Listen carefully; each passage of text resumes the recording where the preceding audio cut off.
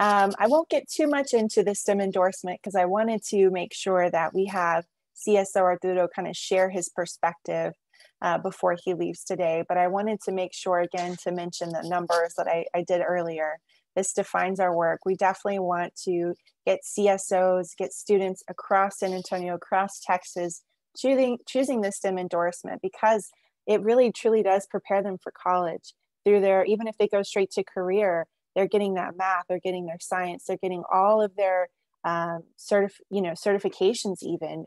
Uh, it's amazing now when you think, when you really do talk to district leaders and you talk to students and you get to see the options that they're getting, we want to ensure that we're increasing access and opportunities so students are able to engage in these ways to choose the STEM endorsement to get all the college and workforce readiness skills that they need at, before they graduate. So it's really exciting. And we're starting this even in elementary. As we know, it's it's getting more and more important earlier and earlier on.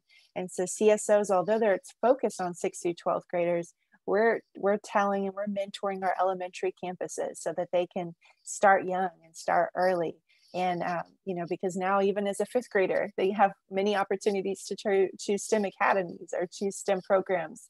Um, so we want to make sure that we're getting our elementary campuses too.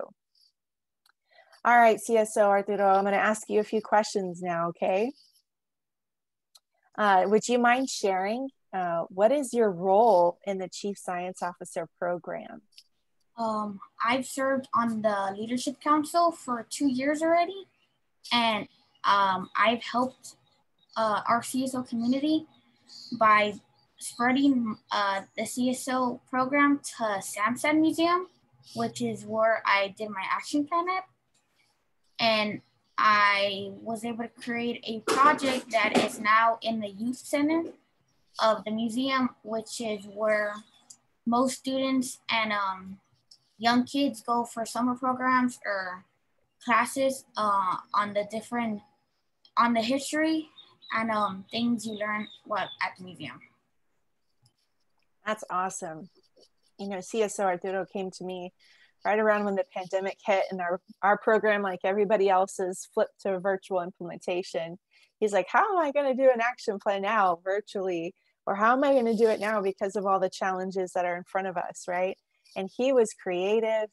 He contacted one of our partners and he was able to create this STEM career exhibit, and we can show pictures of it in a little while. But it's just so exciting to see our chief science officers coming up with innovative ways to still fulfill their mission as a chief science officer, despite the pandemic and school closures, community closures across the, the state and everywhere, right? And so it's been really exciting because although many of these in person events you see on screen aren't happening, we're still having really great events um, and meetings online and sometimes in smaller settings with social distancing, of course.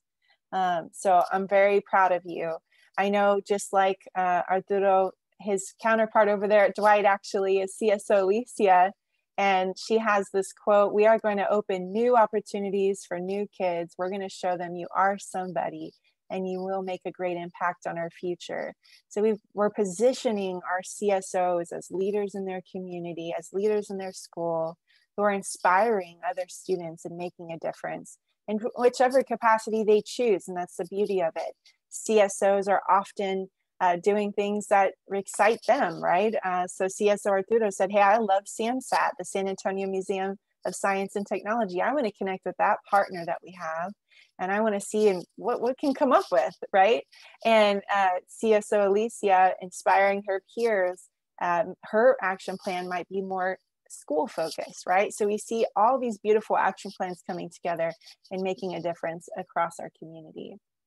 So CSO Arturo, I want to ask next, you know, why is this kind of program, the Chief Science Officer program, why is it important? Why do you think other students should join? The program, uh, the Texas CSO program is important to me because it helped me become the leader in the STEM community that I thought I would never become. It has opened me to new challenges and activities that I have been able to do over my over the three years that I have been in CSO. I have met I have met different companies like IDRA, Boeing. We've had talks with NASA. It has been amazing. Other students should consider becoming a CSO because CSO, CSO is basically taking place in STEM and there are many careers in that in STEM and you know it, there's so much that you can do with being a CSO. You you can go and have a conference with an astronaut from NASA or an engineer who helps create the rockets. You can you can have a conference with the San Antonio water system and see how they filter the water and transfer it from the river that to our refrigerators and faucets. And I think uh, every student should have the chance to at least learn or know what being a CSO is about. Thank you. Well said, Arturo. I appreciate that. Yeah, it's been really great being able to partner and connect and engage our chief science officers with the broader STEM community. Um, SAMSAT in the top right of this, but also the Boeing STEM signing day, which we got to have virtually this year, which was super fun. And many of our uh, the students involved in Boeing STEM signing day, or at least being nominated for that, are actually chief science officers as well. You know, they're graduating as a senior, going on to a STEM uh, career pathway. And so they're going in kind of a, like you would see an athlete sign to, uh, to a school or program to play for them. Uh, it's the same situation, but with STEM, they're committing to a STEM degree or major. And so it's really exciting to be able to connect our chief science officers to these partners, to these events, and to build a lot of these workforce readiness skills, soft skills, that are actually really hard, like giving a proper handshake here in the picture and how to introduce yourself to uh, a future employer or a partner, a community member, or a government leader. So it's been really exciting to kind of build these skills through our programming. Also, it's important because students, through their experiences as the chief science officer, like like Arturo said very well, is they get to kind of find their pathway, their niche in STEM. We know that STEM is crazy broad, right? Like when you think about a STEM career, that ranges uh, from so many different degrees and and experiences. And so, you know, this experience as a chief science officer helps them kind of see where they fit in the STEM world, what they want to do, how they want to give back through STEM, whether they're going to be the, the next coder, um, whether they're going to invent something new. Innovation is very important. Um, and whether they're a, a, coalition builder, where they're bringing people together, right? And so that helps them cultivate their STEM identities, helps them uh, connect with future mentors, employers, supervisors for internship positions. Um, and so all of this just helps serve as a catalyst for their STEM identity. Um, let's see, next question, Arturo. So we've got here, uh, we've got in some of these pictures our advisors. Our advisors are our teacher sponsors or campus leaders. They're our main point of contact at the campus level or organization level if it's out of school time kind of program. And our advisors uh, give up, you know, they, they serve to connect our CSOs, bring them together, make sure that they're coming to the meetings. They're also getting trained so they can better support their CSO and connect their families to the program and what's happening at their campus. So according to like your perspective, Arturo, I see that your advisors here in the meeting. Um, you know how um, how important is it to have a good advisor, that person that you could go to? A CSO advisor is important because they can be they they help you with uh coming up with your action plan because there are times where you don't know how to uh, get a hold or contact a company or a business. Uh they they can help you with like you know the assignments that you are given on your classroom or if you need help coming up with your action plan or you know you're stuck in you know the due date's right around the corner and you haven't gotten a single idea in your mind my CSO advisor, Mr. Padilla, is very help, helpful because um, every time uh, I've emailed him, you know, asking for help, you know, contacting businesses, he'll he, he sends me links to like the sites. He actually helped me get in contact with SAMSAT. So uh, I would I was really I was really thankful for him because I was going crazy trying to figure out how do I get a hold of them. You know, I am so new to this. Um, he has helped me. You know, whenever I'm ready past the due date for the action plan, even come up with the smallest one, just so I can get something. Um, he has he has done a lot for us. So much that I he really is. He's there at every event. He's he's there to support y'all. He comes to our office hours so he can learn how to better support. And our and our advisors truly are that. I mean, they they help support the program, uh, the sustainability of the program, the individualized supports as csr CSO Arturo talked about, and to to also maybe help build a pipeline there in their community. So thinking about what other feeder schools they can connect to so that they build a really strong STEM pipeline there in their own communities. So advisors are crucial. They're boots on the ground. They see the CSOs more than I would since I'm not attending that campus or or community organization as much as they are. And they just they're just wonderful. I think the the the strength and sustainability of the program is really uh, depends and determined by the, the the excitement the support that comes from the advisor as well uh, so we're just so so blessed to have a wonderful group across the city that are just constantly cheering on our CSOs and want to try to support student success in any capacity that they can, which they already are, but they want to do more. And so I just kudos to our advisors. They're so important to the program. Uh, families have also noticed a difference in their chief science officer, their student, their child, right? They've seen that wow, my child can get up in front of a big auditorium of people and has a much better time with it. Um, their speaking abilities, their social skills and abilities are enhanced. Um, they're, you know, getting more comfortable with kind of coming out of their shell.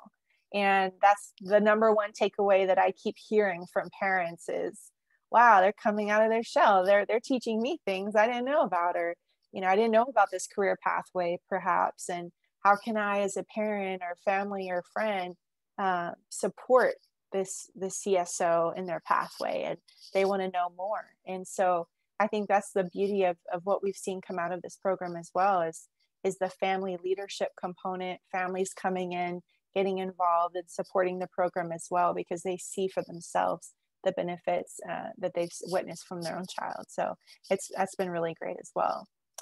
Um, so we've talked a little bit about an action plan. An action plan is, is a project. It could be something, like Arturo said, something small. Maybe it could be something at their school level, maybe a morning announcement uh, where they do the scientist of the month. And they're starting to get more scientists kind of in the ears of their peers.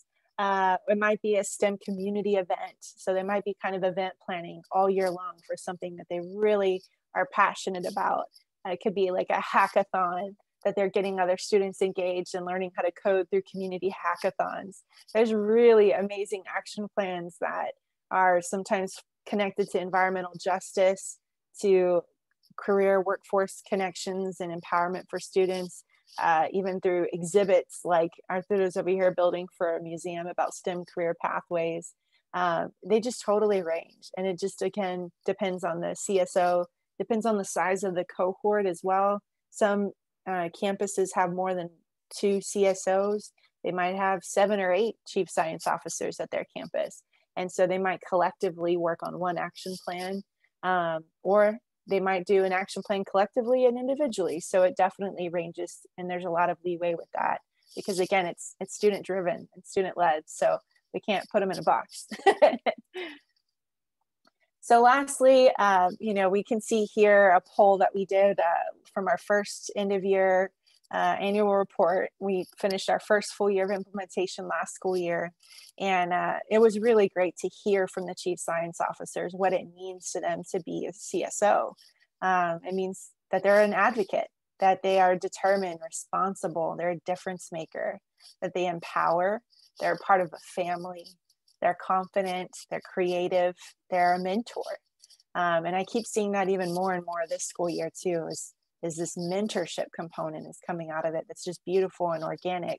And it's great to watch our CSOs mentor new, new students that they've never met before, mentor their peers, their fellow CSOs, and even mentor students from other regions. Um, and then the CSOs being mentored by our Alamo STEM ecosystem partners that are fabulous and empowering our chief science officers. So it's been really amazing to see.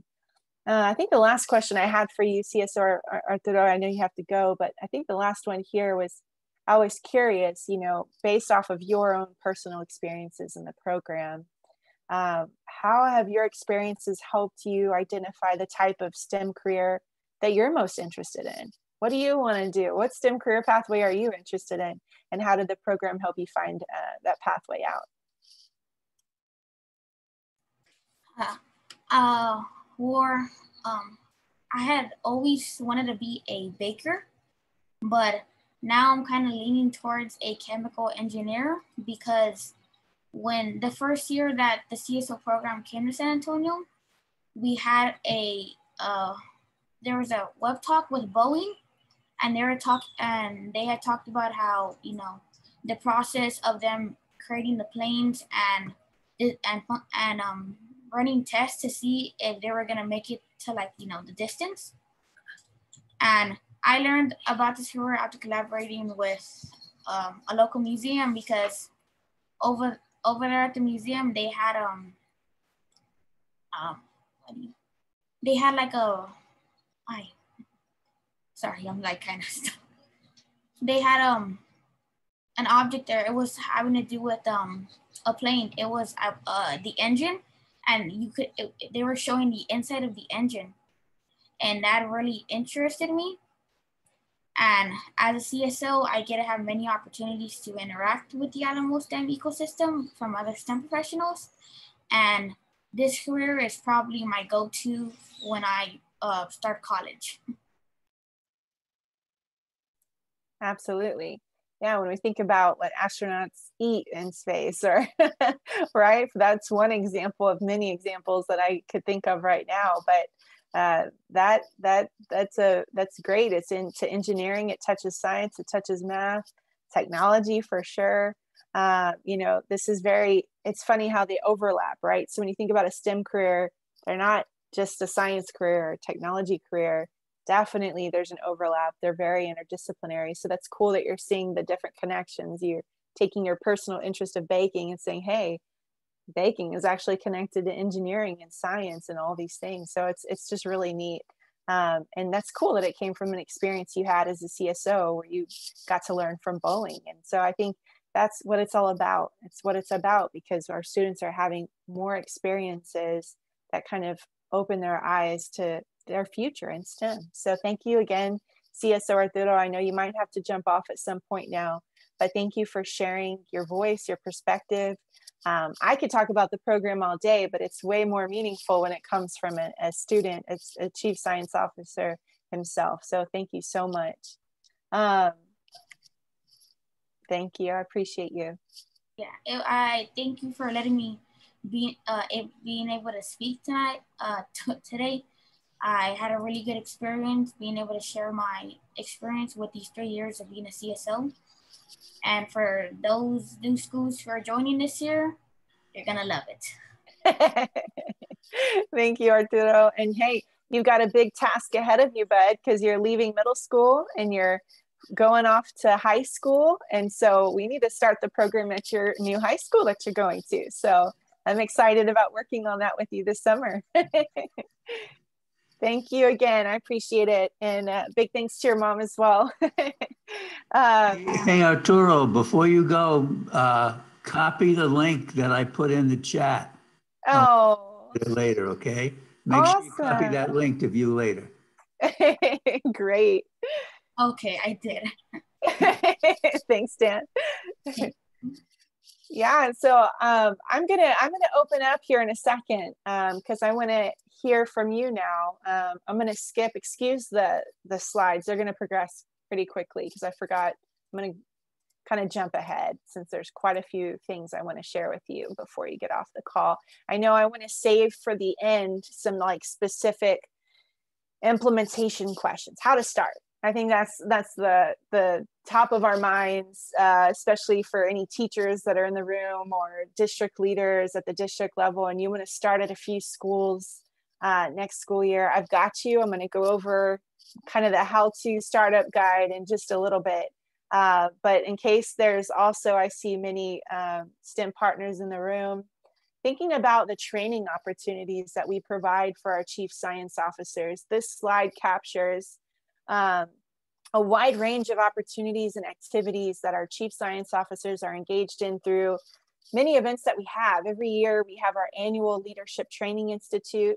It's typically a two-day event um, where students are learning about the program, but also having experiences to build their own uh, networking, writing skills, public speaking skills. We'll have different strategic planning kind of sessions where chief science officers are learning about how to begin like a needs assessment. What what needs to be done? What needs are there at my school or community? And then after they do a needs assessment using that to inform a particular action plan that they want to start. And so that's really great because they want to learn about evidence-based practices in a sense, right? They want to kind of see and experience for themselves what needs there are in their community and then be able to collect evidence that they made an impact and what kind of impact they had. Um, teamwork activities, bonding with other students, those are the fun activities too that our chief science officers thoroughly enjoy. I'll never forget in our very first year we had at Palo Alto College, um, we had a, a, networking event with through a STEM Expo where we had tons of different partners from the community come and set up booths and our chief science officers i gave them business cards and said hey go introduce yourself and practice that elevator speech practice that handshake and eye contact and all of these really great skills that we try to Im- embed within the program and our curriculum um, is really important to our students. We've got CSOs writing blogs and writing articles, uh, participating in podcasts, and starting up their own YouTube channels because uh, they're inspired virtually to do the same thing some of you are doing with your YouTube channels and get some really great content out there to mentor other students and get other kids excited about STEM. Um, I'm going to share in just a moment, um, I'm going to share a link with you that has most of our highlights from the program year. It's very multimodal. You'll see lots of links, videos, pictures, some highlights from our social media accounts are all linked to our Wakelet page. So in a moment, I'll drop that in the in the chat so that you can bookmark it and come back to it later because it really does capture a lot of these things uh, with our chief science officers this program year. Um, and so I want to encourage, again, for any of our partners on the call, if you look at something on here like STEM presentations or networking, if you look at something on this slide and you're like, hey, that's how I can collaborate with the chief science officers. I have a great idea. Please, please, please email me. We are always looking forward to connecting and engaging our chief science officers with you.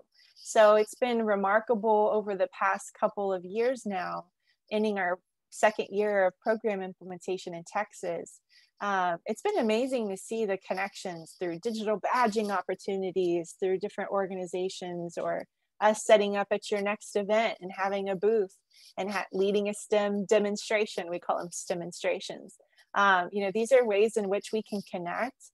Um, and then maybe just a simple interview where chief science officers get to know you and your pathway and how you got to the career that you're in please email me. Please connect with me. Maybe Michelle, you could put uh, my email in the chat. That would be fantastic. Um, while I go grab that Wakelet link for you as well. So I'm going to pause here. Any questions? Now's a great time. We're going to have kind of an intermission while I pull up some other things that I want to share with you. I'm going to stop sharing now. This is a great time to unmute yourself or drop something in the chat if you have a question. I'll go ahead and pause in case anybody wants to unmute. And I'm going to catch up with what's happening in the chat room as well.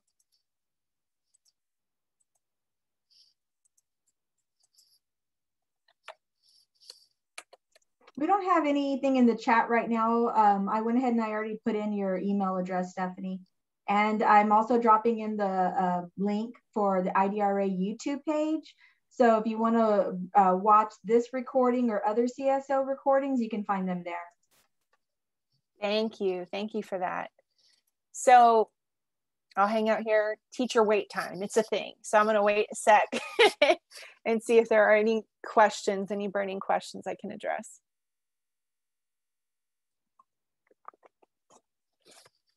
I'd like to acknowledge as well, um, you know, as we think about that YouTube link, let me go to it. I'd also like to point out a really great link as well. I'll throw it in the chat. We have uh, partnered with the Dee Howard Foundation. Uh, Wayne Fagan's on the call, chair of the Dee Howard Foundation, and we've had this amazing opportunity to uh, connect and to start a virtual STEM field trip series. So while I get the link and throw them in the chat, Wayne, do you want to kind of talk about that for the group? You're a great example of how we've partnered with a foundation in our community. Well, thanks. Thanks. Well, I'm a huge fan of IDRA, as I guess most of us on this call are. Um, the concept of the Dee Howard Foundation, uh, for those that don't know about us, uh, if you go on 281 past the airport and see a bunch of red buildings over there, red hangars, that was the Dee Howard Company. Uh, and so, what we try to do is uh, integrate aviation and aerospace uh, experiences and curriculum in STEM uh, programming in pre K to 12. And uh, so uh, we look for uh, ways to partner with organizations to do that. We partner with a lot of organizations, and I, I, was introduced a while back to IDRA and Dr. Garcia. I uh, became a huge fan of what we're talking about here and her, and I said, look, we can bring aviation and aerospace uh, STEM expertise to the Chief Science Officers program and do virtual tours. And we have connections with the US Air Force, and we have connections with uh, aerospace medicine, and we have connections with robotics used in aviation. And it's not just about A&P mechanics and pilots. There are a lot of STEM disciplines that are used in aviation and aerospace. Uh, one of the, you may have uh, remembered there was this probe that went to Jupiter. It was uh, a while back, a big deal, and then it's going further out into the galaxy. Well, the project director from that is uh, a partner of ours. And so we bring those kinds of experiences. We have astronauts uh, that are on our board, one astronaut. And uh, so that's what we proposed. And uh, through the technical expertise of, uh, of uh, uh, IDRA, uh, we started finally. And we've done um, two virtual tours and they're both they're posted on both IDRA and the Dee Howard Foundation YouTube channels and we intend to our goal is to do at least one a month the other thing that we do is that I've, I've told Dr. Garcia that please provide me with the name and email address of all of your advisors because we have a, uh, it's called the Dee Howard Foundation uh, Aeronautical STEM online portal for our, for our program. And we provide all of the advisors with its user and password protected and we provide all of these uh, advisors to the CFO, CSO uh, to, uh, to have access to that. So that's what we're doing. We're delighted to have the collaboration and we spread the word about um, the IDRA and uh, Chief Science Officers program throughout the United States every chance we get. Thank you, Wayne. I appreciate that. We appreciate partnering with the Dee Howard Foundation. And this is a prime example of what we could do um, in your own communities as well. You know, I, I keep mentioning the Alamo STEM ecosystem because uh, we, our chief science officer student body is, is mostly comprised here in San Antonio, even though we are expanding. Uh, we've had some cabinets in Houston, we've had CSOs from Galveston. We're really hoping for El Paso. I know I got to present uh, to Clint ISD as well as uh, some Region 19 uh, educators as well. And so we're truly hoping to start in El Paso, Texas, the Rio Grande Valley through our network there and uh, the greater Austin STEM ecosystem. We're, we're trying to, to launch in Austin and any other educators that are in this space that are interested. I'm going to tell you now how to join. Um, the Wakelet page, I just wanted to explain to you the link that I dropped in the chat to our Wakelet page. This is a fun, fun tool. I don't know if you've used it, educators, you probably have, but it's a wonderful one stop shop with all the things. And so this is a wonderful collection that captures our highlights from our 2020 21 school year. And this is a wonderful way as well to kind of see for yourself what our CSOs are up to. There's more and more content that I keep getting from our chief science officers, being that many schools are not done yet, right? So our chief science officers aren't done yet. I know some of our chief science officers, for example, at CAST Med High School, have an awesome uh, demonstration planned for their school event on June 4th. And so keep coming back to this link because you're going to see more and more media pop up, um, as well as follow us, of course, on social media. Uh, we're on Twitter, Facebook, and Instagram. It's at Texas CSO. So that's how you can stay connected and see what's up and what our CSOs are up to. Um, I now want to kind of switch gears and I want to talk about um, how to start. Um, many people on this call are um, probably wondering this, and I can upload this into the chat. Let me just do that real quickly um, because I want to make sure you can see um, this infographic of how to start. Um, so I put this together to just kind of highlight a few points, okay? Um, so one being set up a meeting. That's always a great place to start. a conversation goes a long way.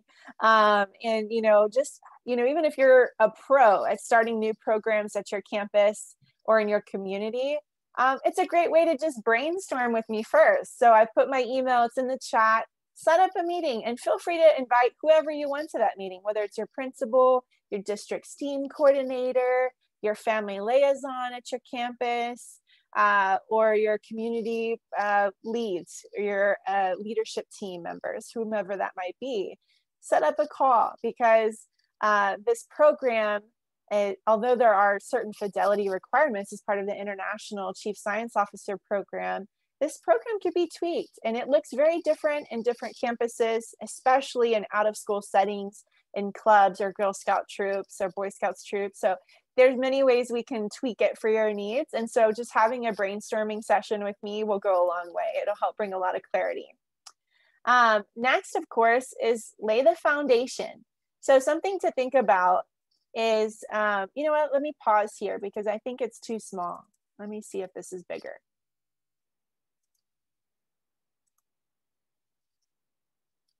Oh, it's too slow. So I don't want to use that one. I'll stay with this one because each file will have to load. But thinking about the uh, foundation of the program to make sure it has a strong, solid foundation, we talked about how important an advisor is, right? So who would be our point of contact at your campus? That's super important for the program to run smoothly. So an advisor doesn't have to be a teacher. It could be um, a family liaison. It could be a counselor. It could be an admin. It could be an academic dean. Um, if I go through my list of who my advisors are, the positions vary greatly. Um, but it definitely does help. I've seen for myself over time that it's somebody connected at the campus on a database basis. Then at a district level, that's very important to have a champion at the district level but also having somebody at the campus level has been really helpful. Then think about what 6th or 12th, 6th through 12th grade students will you select for the first year? Sometimes chief science officers will elect, kind of like a leadership council, they'll have elections for who would be the chief science officer. Um, that doesn't work the first year, right? The first year we need to select, and you might continue selecting students um, from then on, Uh, but you know, uh, as far as who would you elect, that's very important to, to think about because you want to create a meaningful experience for students. So it's important to choose the chief science officer wisely. You know, if it's a student who is in every program and everything, this may not be very meaningful experience for them to be a chief science officer because they're already in 20 other things, right? You want to find, uh, make sure that the students that are being selected uh, would want to be in this program because they're interested, but they may not have the highest interest in STEM either. They not, they may not be the top robotics kid at the school.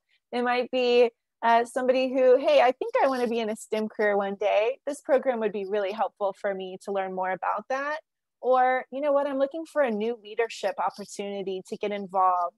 And I do love STEM. I love science or math or technology or all of them. Um, so this might be a good program for me. So again, choose and select the students wisely. That's really important. Also consider what administrative tasks need to be completed to start the program at your campus organization. Is there any paperwork that needs to be completed? Do you need to connect me to a school counselor or secretary to get things moving with it? or with an admin to get things moving. So this is something to consider as well, especially if you're trying to create like a, a new club experience. I know from experience as a science club sponsor, there's paperwork for that. So just be ready. Um, get others involved. What other leadership team members can serve as a CSO advocate and champion at your campus or district level? That's really important. Um, I've seen the sustainability and the excitement about the program spreads district wide when you have a district STEAM coordinator right there with you, or you have somebody at the district level who can kind of help coordinate all the moving pieces for the district and get many campuses started. That's very important. What other feeder schools or programs can sign up to cultivate a STEM pipeline in your community? That's something to also consider. And then don't leave families out. How have families and friends been contacted? Have you let them know about this opportunity for their child? for their students. Spread the news to all your teacher friends, to all your, uh, all your educator friends or people in the community. Let them know that you guys are interested in starting and get that whole squad and team together. It's very important for the success of the program. And then of course, as I mentioned, select your students, select your chief science officers.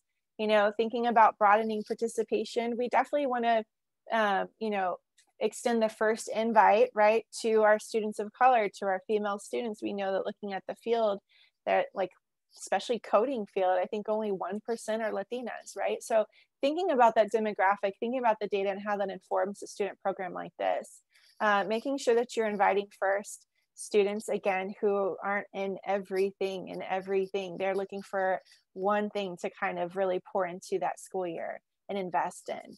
Um, that's really important. We'll have CSO registration links in the beginning of the fall semester. So around July, August, I will have um, a registration link for students to fill out. That's uh, very important as we move on to registration. Uh, be sure to complete all initial registration forms and ongoing tasks via Google Classroom. Um, I've dropped in the chat this infographic, which is embedded with two important links. One link that is on this infographic is our site intent form. And I'll be sure to drop it in the chat in a moment when I'm done sharing this infographic. Um, but it is, again, hyperlinked in the PDF I shared. This site intent form is your registration form to start in the fall. So if this is something you're interested, this is the link you want to bookmark. This is the link that you want to share with everybody that you're getting involved with. Um, because this is ba the basic registration form before we start uh, for the fall. Um, throughout the school year, we do use uh, Google Classroom. So as being a new chief science officer, as a student, as a teacher, you will gain access to a whole new Google suite. You'll, we have our own domain. It's private, it's protected because again, we are working with minors just like a district, school district has their own private accounts and people outside the domain can't contact the minors.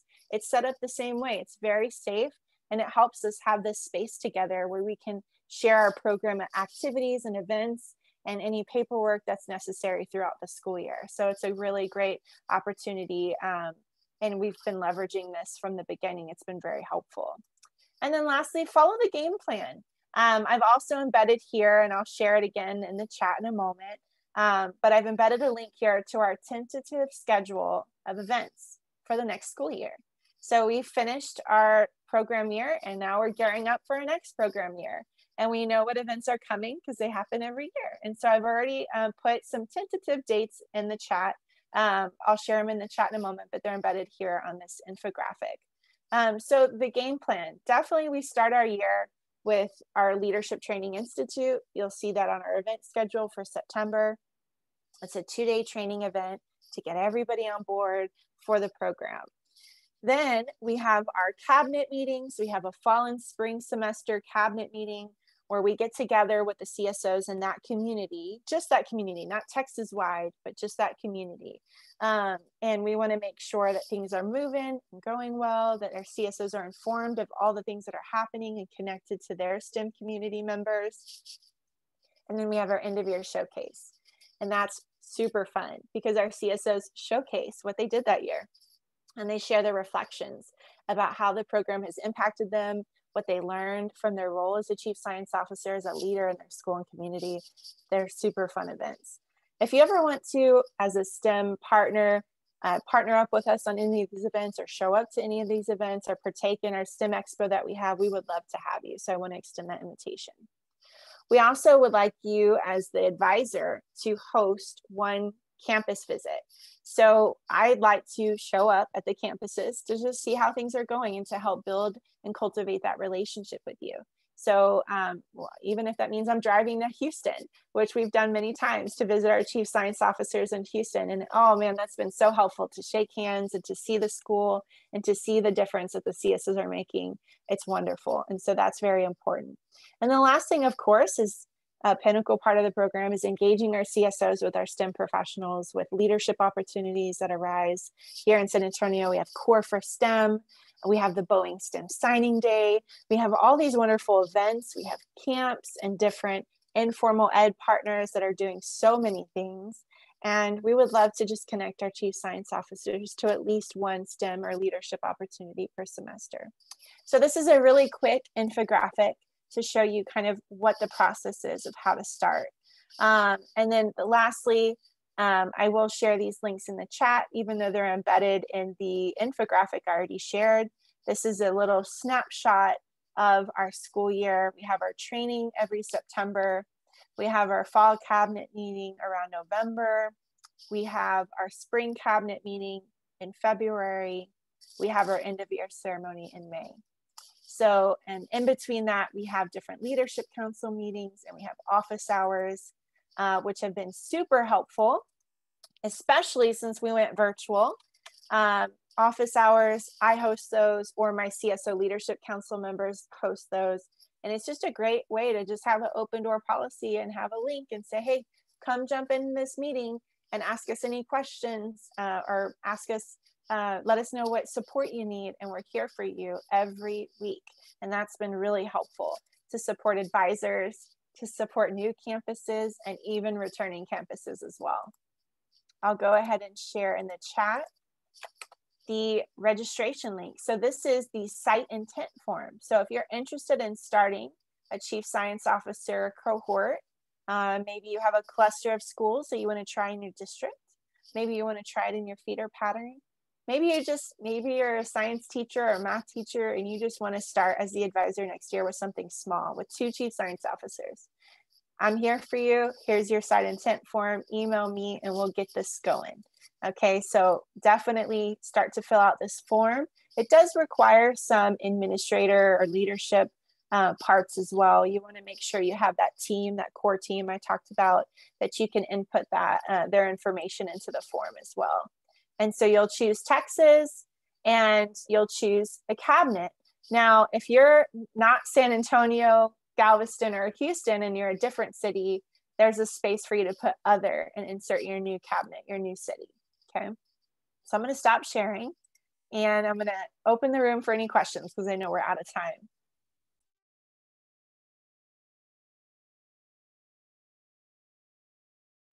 I don't see any questions in the chat right now, Stephanie. Did I explain it that well? There's no way. I put a, I put a, I, I, hi, can you all hear me? Yes, we hear you. Uh-huh. Okay, um, I put a little description of what I'm doing currently uh, in Region 19. And uh, I'm thinking that it would probably be something uh, beneficial, uh, this program, with some of the stakeholders that I have in our in our group. I have a design a design team uh, with uh, our STEM our STEM. Uh, I, am I myself am uh, uh, putting together a collaborative uh, through the Texas STEM ecosystem, and um, and so I'm thinking that anything that would really help to to make the teachers, you know, the students more comfortable with the process, not just as a as a you know as a thing that they can do on the side, but that they start immersing themselves, their campuses in the STEM in the STEM program, the STEM uh, um, design. And I'm, I'm thinking that this would probably be something good. I would just need to be get a little help. Uh, this is a kind of the first time I get an insight into the program. So I'm thinking that uh, anything or any suggestions, any advice or anything like that, that uh, I could get uh, coming our way would be very helpful. Absolutely, Mr. Herrera. We um, have wonderful support from Region 20. And, um, you know, it actually, Region 20 hosts a lot of our events and meetings. It helps us connect with all of our Alamo STEM ecosystem. So having the ESC support is so helpful for this program. And thinking about all the connections you have with the STEAM coordinators, STEM coordinators, it just trickles down, right? That whole funnel approach. And so um, I'm actually working, I'm actually the lead of the Alamo STEM ecosystem, and I actually work with the Texas ecosystem, the greater Austin and the Texas ecosystem with Michelle Sudbury. So we have these wonderful networks that we're leveraging, right? And so we have a great network to help you start. And so uh, definitely be assured of that. I can have a separate brainstorming session with just you and we can iron out all the details and make sure you're mm-hmm. ready to go. And um, if, if we need to go there physically, uh, we can plan for that in the fall. Uh, but until then, we can do everything virtually too um, and set up all the meetings that we need to have and, and maybe some information sessions that I could lead for you just to get the word out and get the interest going. Yes, uh, Michelle's a good buddy of mine. We we yes. go back here when from our days in Lubbock. So. Oh, so, uh, wonderful. Yeah, yeah she's a wonderful advocate, wonderful advocate. And mm-hmm, so, absolutely. yeah, so we'll definitely work with you. Um, I'm excited to work with you. I have your contact info from the email earlier today. So definitely I'll keep in touch with you. I'll follow up. Thank you. Thank you, Josephine, for being here today. You're a wonderful partner with the Chief Science Officers. Thank you so much. I appreciate you. Well, thank you for the overview. absolutely, absolutely. I saw some questions, uh, Cameron, that you had. How many? Oh, okay. Michelle answered it already. Yeah. So sometimes, um, you know, when start small, right? Sometimes that's the best option. Start small. Have a male and female representative, kind of like a representative for your whole campus.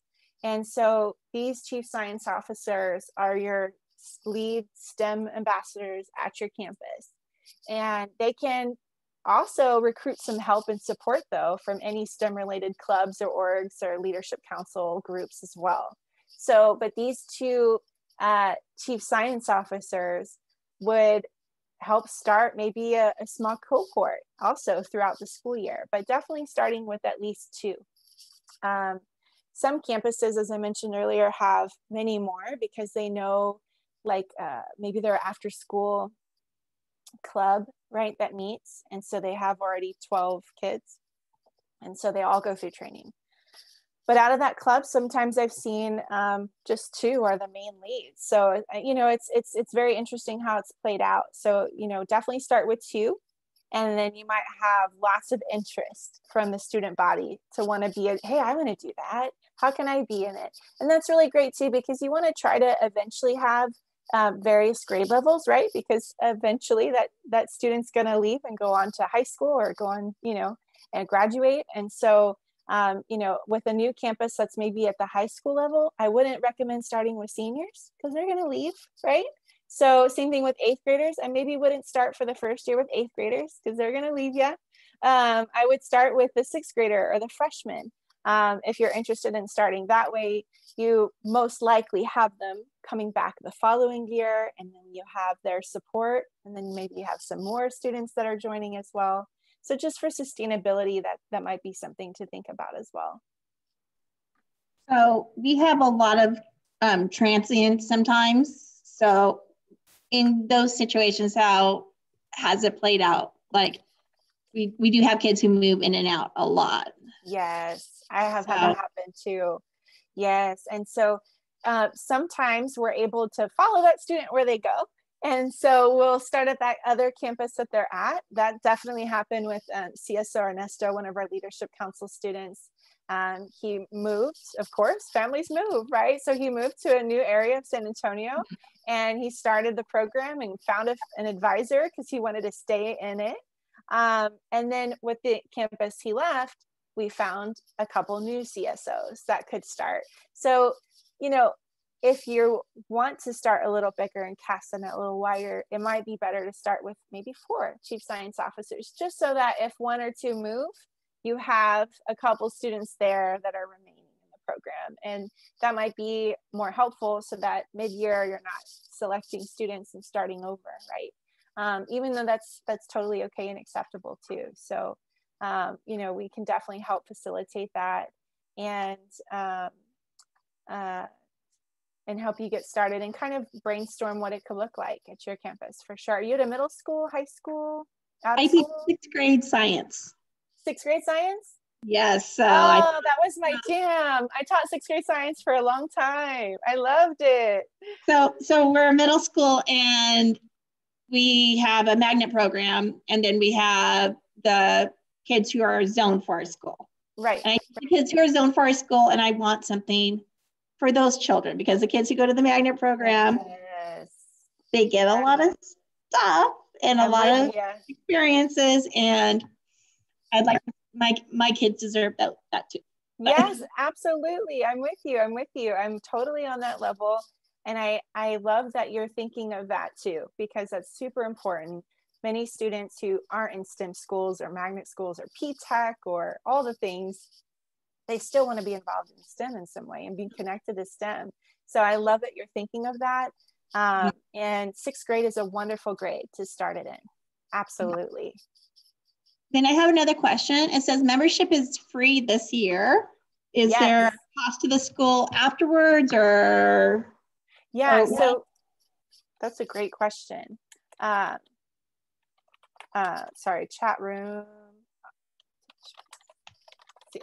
Uh, we definitely have no cost this school year. Um, you know, thinking about the program and how it's an international like membership, mm-hmm. uh, IDRA pays to be a member and so we we take on those costs there's a lot of costs that kind of go into that and even travel opportunities and things like that um, um, all of that we're covering. And so uh, but we are seeking right now I've, it's been grant season so i've been grant writing like crazy.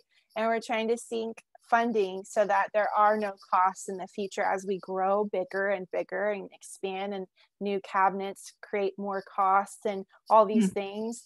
Um, as of right now we're so you know small but we are hoping to expand. And so as we expand we want to make sure we have the funding to support the sustainability of the program too so sometimes in regions there's a small cost maybe $400 per cso so mm-hmm. it depends on how many CSOs you have, right, at your mm-hmm. campus.